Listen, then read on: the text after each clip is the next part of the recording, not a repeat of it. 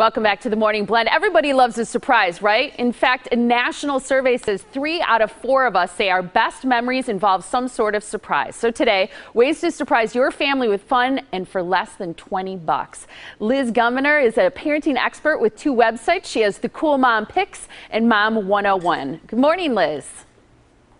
Hi, Molly. Thanks so much for having me. Absolutely. It's great to have you on the Morning Blend. You're obviously very versed in family fun.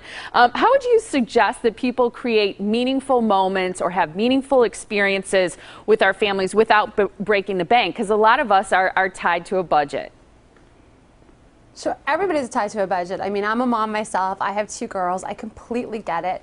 And what I found over the years is that the most meaningful, memorable things to them are not the biggest things. So I can take them on a huge, expensive family vacation that I've spent ages planning, and what they remember is they, they got a free um, pin from the flight attendant on the airplane. So it's usually these little surprises that are very meaningful to families.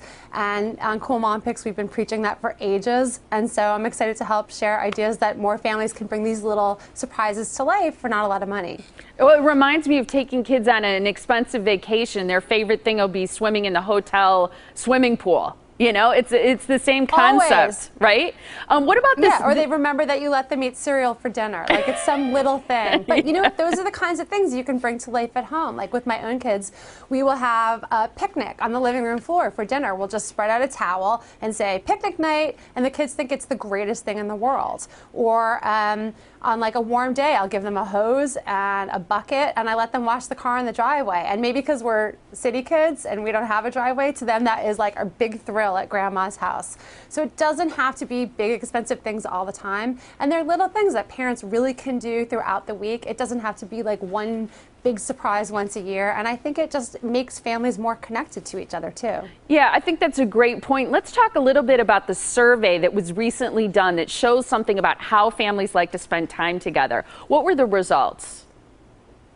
Well, I've been working with Cracker Jack, and as you probably know, they are the masters of little surprises. They've been doing it for families for over 100 years. And so they came out with this really interesting survey where they found out that while 75% of families are interested in having these little moments and surprises with their family and having more quality time, that 72% of them think that it requires a lot of money to pull off. And so we want to prove that it doesn't, that under $20 surprises really can be special and what kids remember most. I think that's great. Um, what about the Surprise Inside project? Fill us in on the details of that. So all of this information is what inspired the Surprise Inside project, which launches today. And if you go to crackerjack.com, what you can do is enter your own ideas for some creative, cool little thing that you want to do to surprise your family for not a lot of money. And Cracker Jack will actually pick hundreds of winners from the entries, and they'll create a custom box just for you and deliver it to you so that you have everything you need to pull it off, whether it's like a spa day in the bathroom for your kids or a lemonade stand to raise money for charity in your front yard. Whatever you think would be super cool for your family to bring you together, they will award it to hundreds of people. It's a really neat idea. But and I think it's amazing to think you can surprise your family for less than $20, but probably a big part of it is just being creative.